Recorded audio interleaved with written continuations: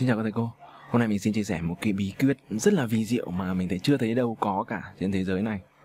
Dạy cách để mà có thể điểm danh một cách tự động, không cần dùng Google Form, uh, Microsoft Form hay là Google Form mà trông cực ngầu đúng không? Mà chưa, chưa đâu trên thế giới dạy cả. Lý do chưa đâu trên thế giới dạy cả bởi vì là chính cái người thiết kế và đây là những công cụ của Microsoft thôi. Nhưng mà chính Microsoft khi thiết kế công cụ này không nghĩ được rằng mình có thể dùng vào cái việc đó À, khi Microsoft ừ, dường thiết kế các cái công cụ mà mình sẽ trình bày sau đây thì họ nghĩ là để dùng làm một việc thôi nhưng không ngờ mình có thể áp dụng được vào việc điểm danh. Đấy, thế nó mới hay đúng không ạ? Thì cái cơ chế của việc điểm danh là như sau. Cái công cụ này có thể giúp chúng ta điểm danh bất cứ lúc nào, có thể là uh, lúc đầu giờ, lúc cuối giờ, lúc giữa giờ hoặc là những lúc mà chúng ta cảm thấy học trò ngái ngủ. Đấy. Thì bất cứ lúc nào mình mà muốn điểm danh mình sẽ cho học trò một cái mã code độc lạ mà chỉ có lúc đó mình mới tiết lộ ra thôi chỉ đến lúc đó mình tiết lộ ra thôi và học trò sẽ uh, sẽ chat liên tục vào trong cái phòng chat này để nhập cái mã code đấy và ai nhập đúng cái mã code đấy thì sẽ được điểm danh. Và khi cả lớp nhập đúng cái mã code đó thì cả lớp sẽ được điểm danh tự động. Và chúng ta sẽ thấy kết quả. Đây ví dụ đây cả lớp đây điểm danh xong hết rồi. Và chúng ta sẽ thấy là à bạn này đi đúng giờ bạn này đi muộn một chút bị vàng này bạn này đi rất muộn này và bạn này là hoàn toàn không đi học thì nó ô đấy nó bị trống. Đấy thì thông báo về buổi họp của chúng ta đã được đăng tải ngày hôm qua và rất cảm ơn cộng đồng giáo dục các chuyên gia Microsoft Việt Nam đã mời mình làm diễn giả và làm trainer cho buổi ờ, uh, livestream. Rất mong có thầy cô vào đúng giờ để không bỏ lỡ những thông tin quan trọng ở lúc đầu và đặc biệt vì chúng ta sẽ áp dụng luôn thi triển trực tiếp demo với tính năng điểm danh này luôn để điểm danh luôn các thầy cô vào phòng học tối hôm nay. Tinh thần là do có rất nhiều sự ủng hộ nên có lẽ chúng ta sẽ phải chuyển sang phiên bản meeting uh, hỗ trợ khoảng 10.000 người tham dự hôm nay mình xin ờ, dạy một cái phiên bản gọi là tối giản và có cái tính năng tối thiểu đây để cho nó đủ dễ trong trong phạm vi hai tiếng chúng ta. Nhưng mà có thể có thể áp dụng cái này vào những cái cực kỳ nâng cao cực kỳ trong sang chảnh. Ví dụ như ở cuối chúng ta có thể có những cái đồ thị đúng không ạ? Để mà xem là có học trăm không trình độ tăng thế nào và tiến độ học tập và điểm số có tăng không có độ tập độ tập trung trong giờ như thế nào. Đấy, đây là những cái cảnh giới cuối cùng của cái kỹ năng này và thậm chí là chúng ta có thể kết nối với cái data, với các app khác để ờ, xem các em có vào các cái app và các cái nền tảng khác để mọc bài không? Ví dụ Flipgrid chúng ta xem các em có nộp bài không? Đo xem các em chăm nộp hết bài chưa? Các kiểu là biết được cái bí quyết này thì nếu chúng ta biết dùng cách dùng nâng cao, chúng ta sẽ có thể áp dụng được tất cả mọi thứ, đúng không ạ? Chúng ta có thể dùng để kiểm tra và vẽ đồ thị cho, học tập cho các em và tiến bộ cho các em. Và kể cả đo sự tương tác của em, các em có chat nhiều, chat ít nữa ở trong cái nền tảng này, đúng không ạ? Có thể chấm bài trong Google Classroom, Quizlet à, tất cả chúng ta có thể nhập vào hết đây. Thế thì cô lưu ý nhé cái hay của cái này là tất cả những cái này có thể làm được. Chỉ cần kỹ năng Excel hoặc Google Sheet thế nó mới ảo diệu chứ này. Đúng không? không cần dùng cái gì phức tạp mà không không không, không dùng cái gì mất tiền. Đúng không? Đấy. Cái thứ hai nữa là với cái đặc thù của cái việc là chúng ta chỉ cần đưa một cái mã cốt là có thể điểm danh để cho các em học sinh ấy thì chúng ta hoàn toàn có thể dùng này vào bất cứ việc gì. Đấy. Chúng ta có thể chơi game với cái này cũng tức là ví dụ như cái mã code này không phải là một cái gì đấy chúng ta nói ra lúc đấy mà là lời giải đáp án của một cái bài tập chẳng hạn. Thì lúc đấy chúng ta lại có thể hoàn toàn là chơi game tương tác trên cái này. Đúng không ạ? Và biến cái, cái, cái, cái, cái, cái những cái mã code này thành những cái mà các em phải giải ra các em mới được tích điểm vào cái ô đó đấy, như vậy là chúng ta không những chỉ có thể dùng để điểm danh, để kiểm tra các em có tập trung hay không, mà chúng ta còn thể tổ chức chơi game, thậm chí không cần dùng cao hút hay là Quizlet hay là hay là bất cứ cái gì ờ, Google Form gì để mà, ấy, mà chúng ta hoàn toàn có thể bảo các em gõ trên các cái ờ, gõ trên ờ, gõ trong chat room, mà lại được tích điểm và chạy đua với nhau. Và mình hay thường lấy cái vạch đỏ này làm cái vạch gọi là À, mình hay là vạch cán đích này để cho mọi người cùng phải lao tới để để để, để thi đua này. Đấy thì chúng ta không chỉ điểm danh mà chúng ta còn thể chơi được cả cái những cái cực kỳ là nâng cao. Thì ekip của mình đã phát triển những cái công thức này thành những cái sân chơi khổng lồ cho hàng ngàn người có thể học bài cùng một lúc. Và một cái ờ, thống kê sau sau nhiều nghiên cứu của mình rút ra sau 10 năm dạy học rằng là cứ 10 em học hành ờ, cứ 10 em đóng tiền hoặc là 10 em đi học chính khóa thì sẽ có hai em chăm trong lớp Đấy. thế còn 8 em là sẽ lười nhưng mà với cái hình thức thi đua và đua mà cán vạch đích và sôi nổi và làm cho mọi người phải tương tác cao như này và chat chiếc liên tục như này thì sẽ tăng từ 2 thành đến 8 người trên 10 là chăm chỉ. Như vậy với công nghệ này, tương tác này và điểm danh này thì mình đã giúp được 6 em trên 10 em đáng nhẽ là thất bại và học không thành công trở thành những em thành công. Đấy, thì đây là một công nghệ mà mình và ekip đã phát triển và rất là tự hào. Và một phần của nó hôm nay mình sẽ chia sẻ với các thầy cô. Thì mình sẽ đưa cái hướng dẫn này cho một số thầy cô xem trước. Bởi vì là cái cách cài đặt của những cái này nó có thể khác nhau. Giờ với các dạng ở cao khác nhau với các cái sĩ số lớp khác nhau và cũng có thể là với cả các cái nhu cầu dùng khác nhau của thầy cô ở các địa phương nữa. Cho nên mình cần là một vài thầy cô hiểu biết trước uh, để có thể thử và có thể giải đáp được các cái thắc mắc và các cái trục trặc nếu có. Thì chúng ta sẽ khi mà chúng ta livestream về dạy uh, trên lớp học uh, truyền đạt uh, cái kỹ năng uh, gọi là cái phát triển uh, kỹ năng nghề nghiệp về vấn đề này trên uh, diễn đàn thì chúng ta ngoài một mình uh, mình ra thì sẽ có các thầy cô hỗ trợ. Thì các thầy cô sẽ biết được cái kỹ thuật này và sẽ làm luôn. Và và sẽ hỗ cùng hỗ trợ mình giải đáp các thắc mắc và các cái vấn đề và các thầy cô gặp phải. Là video clip đầu tiên mình làm cho nên rất là mong sự góp ý và ủng hộ các thầy cô. Thì uh, nếu như các thầy cô có vấn đề gì cần hỗ trợ hoặc là một cái thầy cô nào muốn nhờ mình ờ, triển khai cái này ở uh, khu vực trường của mình cũng có thể uh, uh, liên hệ để mình có thể qua hoặc là mình có thể hỗ trợ một cái theo tùy cách mà, mà các thầy cô mong muốn từ những video sau thì chúng ta sẽ tiếp tục đi tiếp các cái mảng trong công nghệ edtech trong công nghệ uh, giáo dục. Thì chúng ta sẽ có, có thể điểm qua và các thầy cô cũng có thể vote thêm các cái lựa chọn ở trong cái uh, bài mình.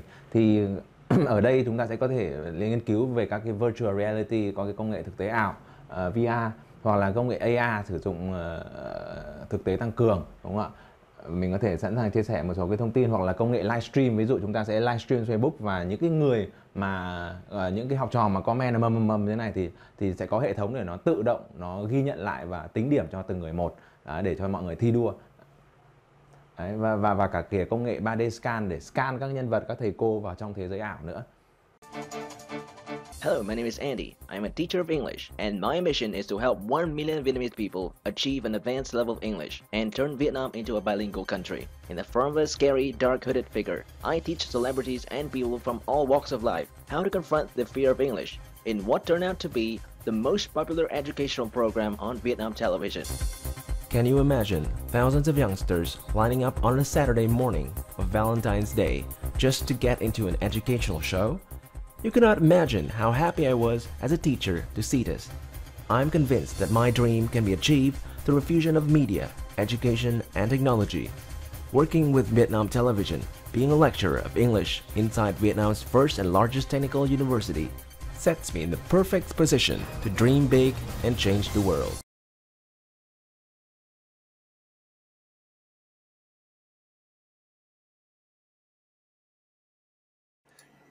Đấy, thì mình sẽ chuyển sang một cái phiên bản tối giản của cái bảng điểm kia.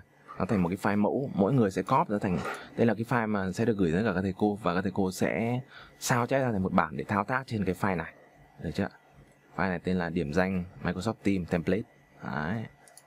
và ba cái chúng ta cần có là cái mã chúng ta sẽ cho vào đầu giờ. Đấy. và cái tên hoặc là email của các em ấy. Và cái mã code ở cao hoặc email của đây và mình sẽ chia cái bài tập ngày hôm nay ra thành 5 bài tập khác nhau để à, các thầy cô cùng luyện tập. Được chưa Đấy. thì cái nguyên lý nó hoạt động là như sau.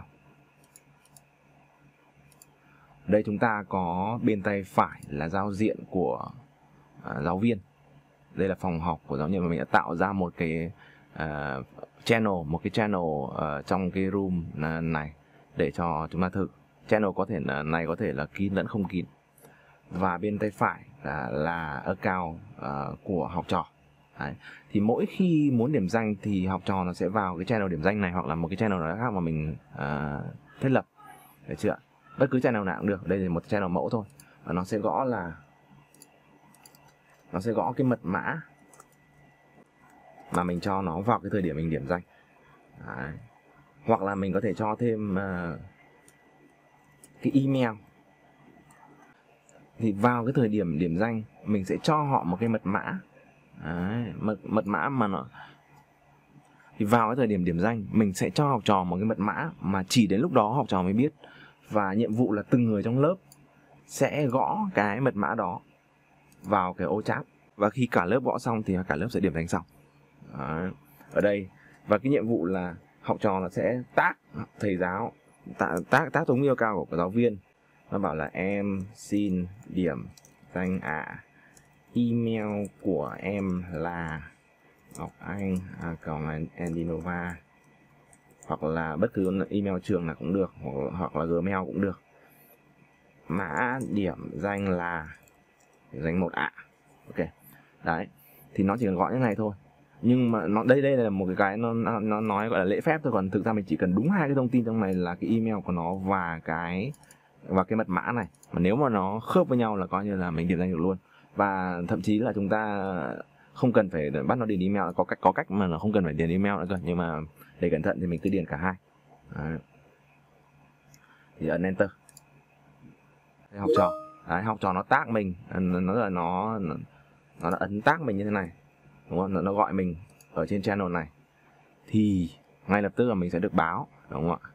Và cái và cái mình cần làm là mỗi khi có cái sự kiện được báo này thì nó sẽ thành một cái dòng mới xuất hiện ở trên Google Sheet. Và chúng ta sẽ xử lý đấy, và nó và chúng ta sẽ xử lý cái dòng này để trở thành cái có thể điểm danh được. Đấy.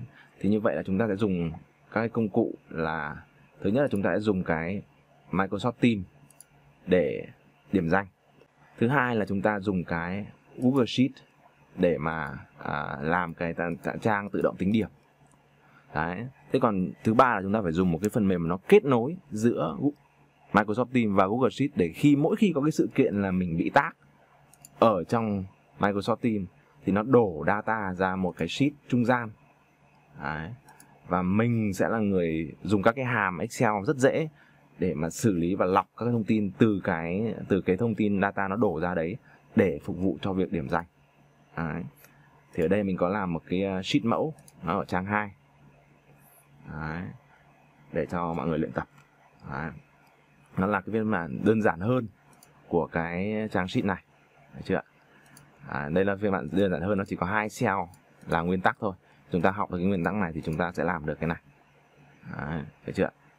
Ờ, đầu tiên chúng ta sẽ học cách làm thế nào để mà lấy được cái data ra. Thì đi cùng với cả cái ờ, bài học hôm nay sẽ là một cái trang bảng tính mẫu trên Google Sheets. Thì mình sẽ đưa cái link này đính kèm về cái link video clip hướng dẫn. Thì khi mọi người nhận được cái phim là cái file này thì mọi người sẽ ấn vào cái menu đúng không ạ? Và mọi người sẽ make a copy để lưu một bản lưu một bản về về cái account Google Drive của mình. Đấy. chứ mọi người đừng có ấn là download đúng không ạ? À, đừng có ấn là download. Download thì là nó về máy tính của mình. Còn đây là mình sẽ tạo một bản ở trên Google Drive để sau này cái bản đấy còn có thể được cập nhật liên tục.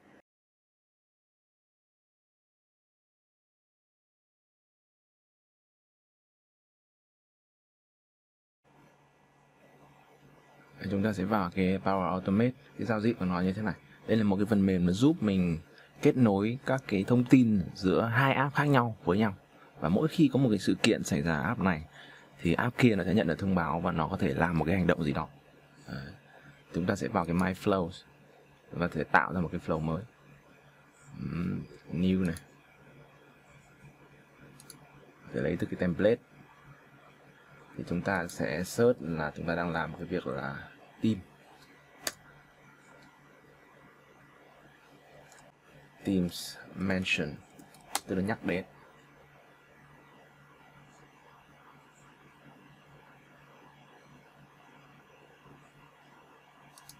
Sẽ lấy cái này.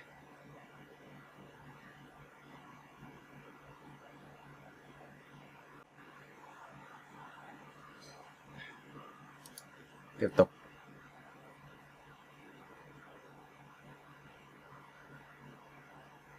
Đấy, như vậy là khi mà như vậy là khi mà tôi được người khác tác hay là nhắc đến ấy, ở trong một cái à, channel thì sẽ có cái lệnh này xảy ra yeah. Đấy, bây giờ chúng ta sẽ à, vào editor và test này chúng ta vào cái channel channel điểm danh mà mình đã tạo sẵn này Đấy. sau đó mình sẽ xóa cái này đi chúng ta sẽ ấn vào new step. À, bởi vì chúng ta chúng ta muốn nối nó với cái Google Sheet cơ. Chúng ta không phải muốn nói nối nó với cái này. Chính là Google Sheet đây. Thì chúng ta cần cái là gì? Insert rows. À, insert rows là mỗi khi có mình được mention thì nó sẽ để chèn cái thông tin đó vào cái Google Sheet và nó thêm một dòng vào trong Google Sheet à bây giờ chọn là mình sẽ phải kết nối với cái ờ, Google của mình, Google Drive của mình. Nếu như ai chưa từng kết nối thì nó sẽ bắt mình ờ, đăng nhập vào kiểu.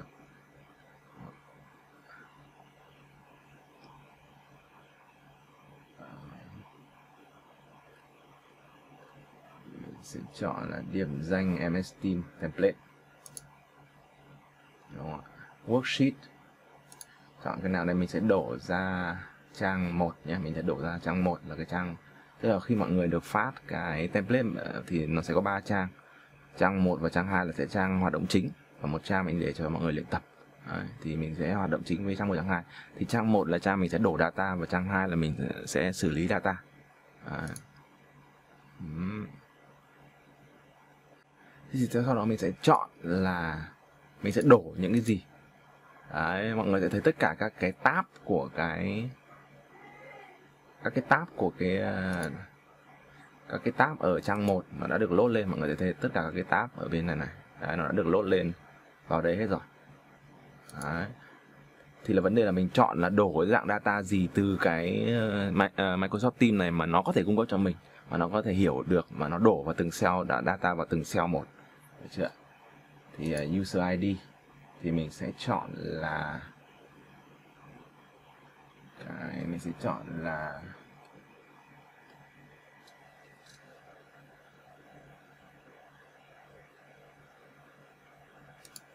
user ID này.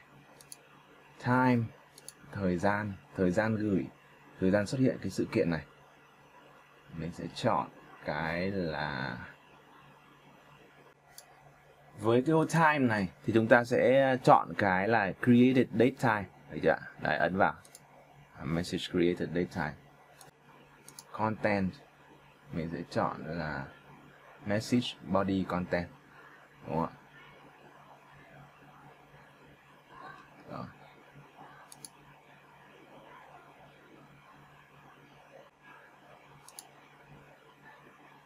Name. Còn cái name là tên của học trò. Nên đây sẽ là cái tên ở trên hệ thống tên ở hệ thống của Microsoft. Thì sẽ là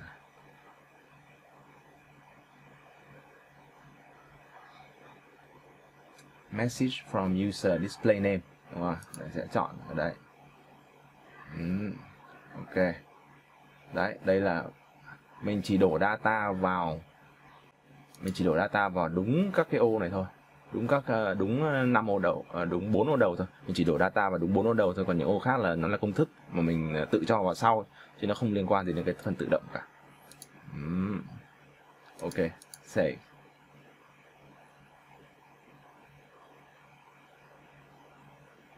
Ok. Bây giờ mình sẽ test mình sẽ test nó xem có được không. Đấy, sẵn sàng rồi bây giờ chúng ta sẽ, chúng sẽ, chúng ta sẽ login vào một nick khách Đấy. chúng ta sẽ vào Microsoft Teams. Chúng ta sẽ vào cái channel là channel điểm danh riêng. Và chúng ta sẽ ghi là điểm. Chúng ta sẽ tác giáo viên vào. Uhm.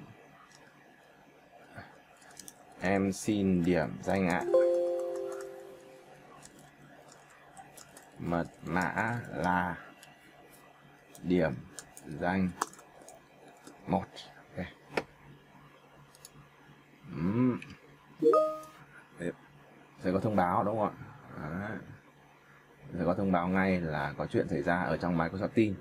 Nhưng mà từ lúc thông báo này cho đến lúc đúng không ạ?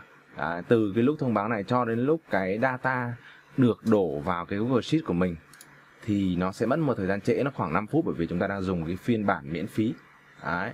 à như vậy là your flow ran successfully tức là chúng ta đã test thành công rồi Đấy. tức là cái cái lệnh đặt chúng ta đã hoàn thành và mất 2 giây Đấy.